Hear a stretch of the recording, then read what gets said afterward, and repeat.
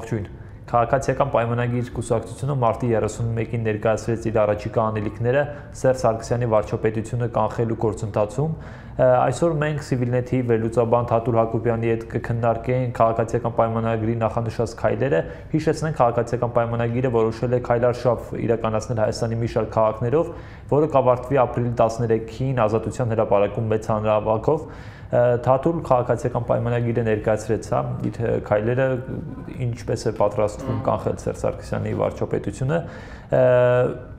արդյոք ռեալիստական ծրագիր է ներկայացվել քաղաքացիական պայմանագրի կողմից արդյոք այս քայլարշավները վերջում մեծ հանրահավաքը հետագայում նաև խաղաղ ճնշումը ինչպես իրենք են նշում նաև անհնազանդությունը հնարավորություն կտալ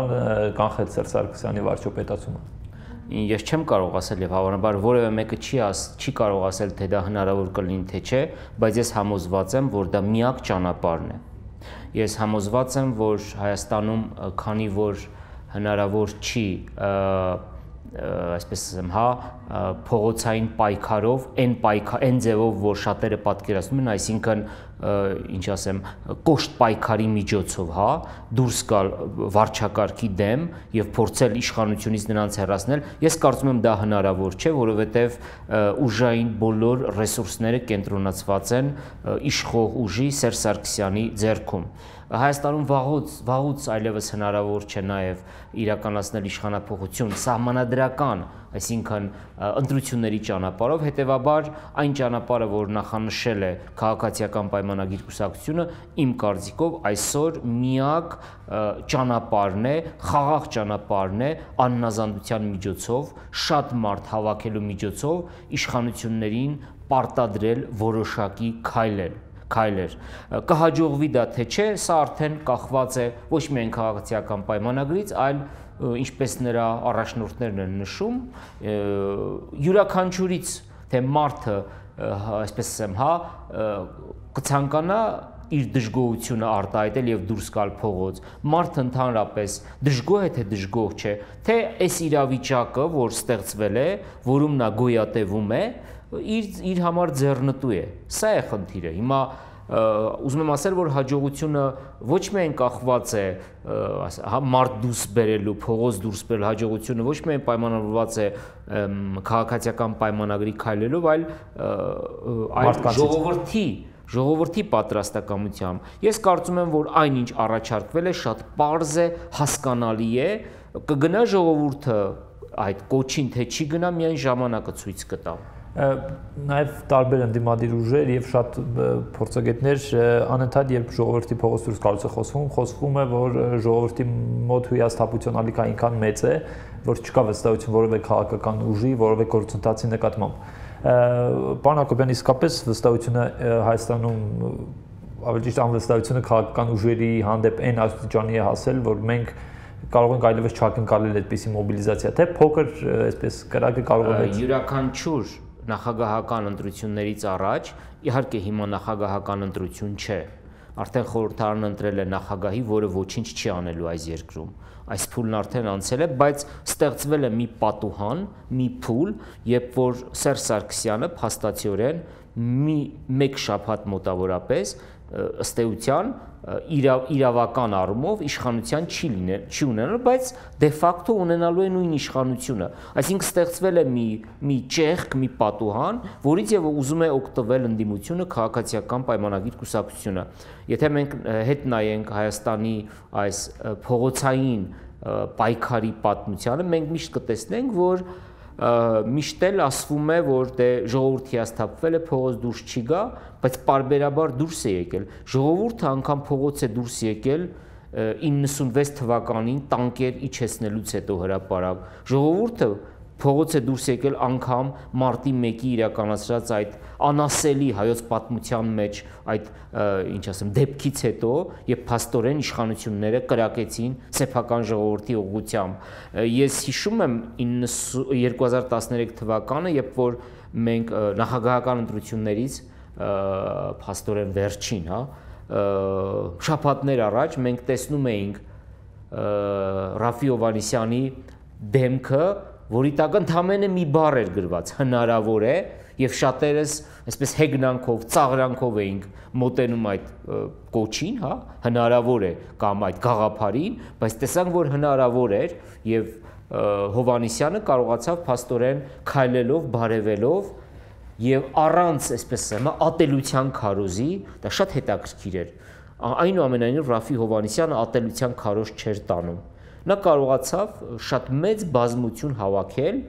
ընտրություններում փաստացի հաղթել, է այլ մարդ դարձավ նախագահ, ինչպես լինում է սովորաբար Հայաստանում, բայց նա կարողացավ ըստ էության հաղթել եւ պատմությունը կգա ժամանակ եւ այդպես էլի դեպք կգրվի հիմա պատմություն գրողները հանրապետականներն են եւ նրանց պատմաբաններն են դրա համար չի գրվում, որ նա կարողացավ այդ զանգվածը դուրս բերել։ Հիմա էլ ես կարծում եմ, որ հնարավոր է դուրս բերել։ Ինչպես, ինչպես մոբիլիզացնել մարդկանց, ինչպես անել, որ մարդիկ կան հրապարակ, ինչ գործիքներով, ինչ ինչ նպատակով։ Շատ Փաշինյանի եւ նրա կուսակիցների իմ համար կրկնում եմ շատ հասկանալի է նրանց առաջարկած տարբերակը շատ մարդկային է, շատ հասկանալի է, բռնիուշ չենք կիրառում, մենք մենք ձեզ դուրս չենք բերում փողոց, հետո ձեզ փողոցում թողնենք հեռանանք։ Մենք ասում ենք, որ հա ճանապարհ կա, դուրս եկեք փողոց եւ հավատում եմ, որ 10000 մարդ, 20000 մարդ դուրս գալու դեպքում, եթե անգամ հնարավոր չլինի կանխել Սերժ Սարգսյանի վարչապետ տանող ճանապարհը, այնուամենայնիվ հնարավոր կլինի մեկ անգամ եւս Սերժ Սարգսյանին եւ իշխող ուժերին հիշեցնել, որ Հայաստանում քաղաքական, քաղաքացիական համակարգը վերջնականապես դուք չեք սպանել եւ մենք ձեր դեմ ահա այս քայլը ունենք, ահա այսքան ժողովուրդ ունենք։ Դա եւս չափազանց կարեւոր է։ Ես կարծում եմ, որ և, պետք այստեղ պետք է առանձնացնենք պլան մինիմում եւ պլան մաքսիմում։ Մինիմում պլանն այն է, որ իշխանությունները ի վերջո կհասկանան, որ ժողովրդի դիմադրական ոգին դեռևս սպանված չէ, ինչպես իրենք են իրենց ներսում համոզված, եւ իհարկե պլան մաքսիմում, երբ որ հաջողվի կանխել կամ իրականացնել Սերժ Սարգսյանի տղամարդկային խոստումը, որ ինքը այլևս չի հավակնի վարչապետի պաշտոնին շատ է խոսվում ինչ է լինելու ենթադրենք ի վերջո Սերժ Սարգսյանի այդ վարչապետացումը կանխվում է մարդկային մեծ զանգվածների ներգրավմամբ ինչ է լինելու դրանից հետո ինչպես պիտի քաղաքացիները իրենց վարչապետի տեխնացուին առաջադրեն, ապանտրեն այս վիճակը պատկերացնենք մի իրավիճակ, երբ 15000 քաղաքացիներ ազգային ժողովի մոտ պահանջում ու ստանում են իրենց ուզածը Սերժ Սարգսյանը չի առաջադրվում ինչ է լինում ինչ է լինում հետո մի քանի սցենարներ կարող են լինել ամենատրամաբան տրամանական սցենար սցենարներից մեկը կարող է լինել այն որ հանրապետական կուսակցությունը ես մի կողմ եմ թողնում այդ 10000 դրամների պատմությունը որ իրավամ նրանք գնել են ուղակի հայ ժողովրդից իրենց քվեն բայց այդ քվեին քվեի մի մասը իրավամ նրանցն է դրանք վարչական ռեսուրսն են կուսակցության անդամներն են, 10000 դրամով քվեարկածներն են, Հայաստանից իրենց իսկ պատճառով արտագաղթած քաղաքացիների քվեներն է, որ իրենց անցել է, այս ամեն ինչը իրենք ունեն եւ նրանք ընտրություններում, խորհրդարանական ընտրություններում համարեն, որ հաղթել են եւ իրենք առաջադրում են վարչապետի մեկ այլ տեխնացուի, որի անուն ազգանունը Սերժ Սարգսյան չէ, որովհետեւ այստեղ այստեղ կարևորը Սերժ Սարգսյանի անձն է, որտեղ մարդիկ ասում են, որ չի կարելի Հայաստանում, ինչպես Սերժ Սարգսյանն է ժամանակին ասում, չի ինքն էր ասում, որ երրորդ մարդ, երրորդ ժամկետով մարդը չի կարող հավակնել, սա կանխելն է, որpիսի սա չդառնա արդեն 4-րդ, 5-րդ եւ միջև ծերություն, եւ որpիսի Հայաստանը չգնա, ասենք, Ղազախստանի, Ուզբեկստանի, Թուրքմենիայի, Բելարուսի եւ այլ նման երկրների ճանապարհով։ Սա գոհացուցիչ լուծում է, հա, քաղաքացիների համար։ Սա գոհացուցիչ լուծում է այն իմաստով, որ գոնե փոփոխությունների հույս կլինի, որտեղ Սերժ Սարգսյանի մնալը նշանակում է խաչ են քաշում փոփոխությունների վրա։ Սերժ Սարգսյանի մնալը նշանակում է ստատուս քվոյի պահպանություն, լճացված այս իրավիճակ, արտագաղթի շարունակություն եւ այլն։ Իմ ես համարում եմ, որ եթե անգամ հաջորդ վարչապետը լինի ավելի աղետալի, քան Սերժ Սարգսյանի 10 տարիներն էին կամ 5 տարիներն էին, ապա դա կարող է ավելի արդարացի լինել, ավելի լավ լուծում լինել, որտեվ նրան էլ կարելի է ճանապարհել հաջորդ ընտրություններում, այսինքն հույս կլինի, բայց Սերժ Սարգսյանի մնալու դեպքում սա նշանակում է, որ Սերժ Սարգսյանը մնալու է ցմա եւ նրա այն խոստումը, որ գիտեք ինքը պատրաստում է հանրապետական նոր կադրեր, ես կարծում եմ ինքը շատ-շատ լավ կադրեր պատրաստել է։ Տեսեք նրա գովքը ինչպես է նրան փառաբանում։ Այսինքն նա այս իմաստով գուցե այս իմաստով է շատ լավ գործ Նա թողել է լավ կադրեր, իդեմ Աշոտյանի, Շարմազանովի, մյուս փառաբանողների եւ պետք չէ այդ մասին մտածել։ Այդ մասին քաղաքական համակարգը ինքը ավելի տրամաբանական եւ ավելի արդար լուծումներ կառաջադրի։ Թաթուլ Քայլարշավը քաղաքացիական պայմանագրի որոշ անդամներ համարում են աննախադեպ իրադարձություն, այսպես մարդկանց մոբիլիզացնելու յուրօրինակ գործիք են իրենք դա համարում, բայց մենք քիչ առաջ խոսում ենք 2013-ից, երբ նույն Ռաֆի Հովանեսյանը, հիշում եք, քայլում էր ուղղակի բարևում էր կարող եք փասել որ սա աշխատող քաղաքական գործիք է մարդկանց մոբիլիզացիա ապահովելու համար։ Դա աննախադեպ չէ, ես կարծում եմ որ այնինչ անում է քաղաքացիական պայմանագիրը, դա ինչ որտեղ կրկնությունն է, գուցե ինչ որ այլ տարբերակով մի քիչ, հա, խմբագրված տարբերակով, այնինչ անում էր Ռաֆի Հովանեսյանը 2013 թվականին, դա լավ տարբերակ է, որովհետև դրա մեջ չկա իշխանությունը բռնի տապալելու կոչ, Ագրեսիա չկա ընդհանրապես։ Ագրեսիա չկա։ Գիտեք ինչու է կարևոր, երբ որ չկա իշխանությունները բռնի տապալելու կոչ, որովհետև երբ որ ընդդիմությունը հայտարարում է, որ իդեպ ընդդիմության մի հատված հենց այդպես էլ պնդում է, որ պետք է գնալ դիմել ամեն քայլ, այսինքն այնպես չի։ Տեսեք, քաղաքացիական պայմանագիրն ասում է, եթե անգամ մեր դեմ ուժ կիրառեք, մենք ուժով չենք պատասխանի, կային կան այլ ուժեր, որոնք ասում են, չէ, պետք է ուժով պատասխանել։ Ես կարծում եմ, երբ որ դու մտնում ես այդ դաշտ, դու արդեն պարտվում ես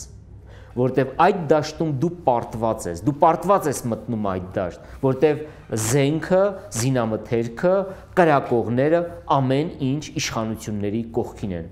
ես չեմ ուզում ասել, թե սա ինչ ողբերգական հետևանքներ կարող է ունենալ, բայց դու արդեն լեգիտիմացնում ես, օրինականացնում ես իշխանությունների կողմից քո նկատմամբ ուժ կիրառելը։ Տեսեք, Սասնա ծռերի դեպքն է, որ հա միշտ մեր մեր աչքի առաջ պիտի ունենանք։ Սա ինչով էր աննախադեպ, որովհետև Հայաստանի պատմության մեջ փաստացի առաջին անգամ Սասնա ծռերը փաստացի կիրառեցին այդ ուժի մեթոդին եւ ինչը իշխանություններին լեգիտիմ, այսպես ասենք, հա, կամ ճակերտյալ լեգիտիմ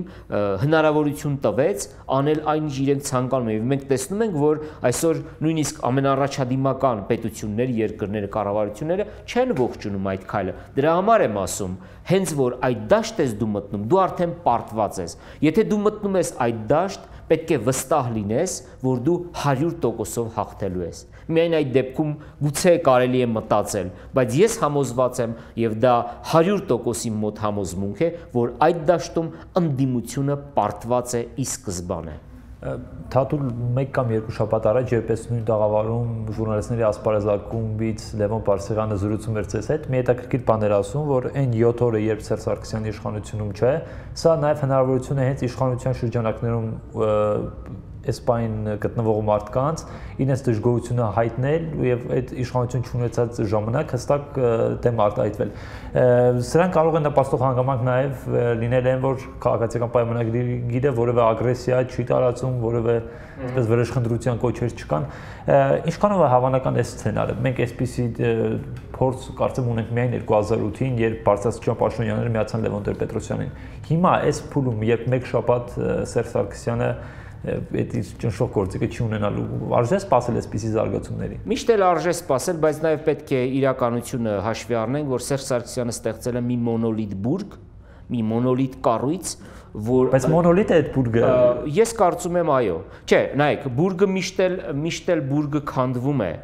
այսինքն այնպիսի բուրգեր են քանդվել մեր աչքի առաջ ասենք մուբարակը ով ով անվերջ էր թվում վերջին հիշողությունը օրինակ Մուբարակի, ես Մուբարակի գործունեությանը որպես ասենք շարքային քաղաքացի լրագրող հետևել եմ հավանաբար 80-ական թվականներից, հա, մոտորապես ես իմ քանի տարի, 30 քանի տարի, հա, բայց Մուբարակից հիշում եմ բանտում նրա օրերը, ուրիշ բան չեմ հիշում։ Քադաֆիից հիշում եմ նրան վերջի այն սպանության օրը, երբ որ նրան կոյուղուց դուրս էին բերում եւ նա աղաչում խնդրում էր եւ նրան ծաղրում ծանակի էին ենթարկում։ Դա էլ շատ վատ է իհարկե։ Եվ այսպիսի դեպքեր Ես հիշում եմ Սադամ Հուսեյնին, երբ որ արդեն մոտեցնում են եւ նրա պարանոցին էին մոտեցնում այդ կախաղանը, կախաղանի այդ պարանը, հա։ Ուզում եմ ասել, որ շատ ռեժիմներ են եղել աշխարհում, որոնք մի օրում փլուզվել են մի օր էլ իհարկե